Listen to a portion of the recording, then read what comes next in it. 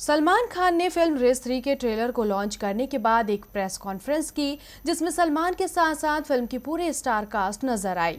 इस कॉन्फ्रेंस में जब सलमान से काला हिरन मामले में सवाल पूछा गया तो पहली बार उन्होंने इस मामले पर अपनी चुप्पी तोड़ी। दरअसल, फ़िल्म रेस थ्री की प्रेस कॉन्फ्रेंस में एक रिपोर्टर ने सलमान खान से काला हिरन मामले को लेकर एक सवाल किया कि आपकी फ़िल्म का बजट डेढ़ सौ करोड़ रुपए है और जेल जाने पर अपने ऊपर लगे करोड़ों रुपए को लेकर क्या आप चिंतित थे? इस सवाल का जवाब देते हुए सलमान ने कहा कि तुम्हें क्या लगा कि मैं हमेशा अंदर ही रहूँगा? इसके बाद शांत सुर में सलमान ने कहा कि हाँ मैं चिंतित था, लेकिन अल्लाह पर पूरा भरोसा था।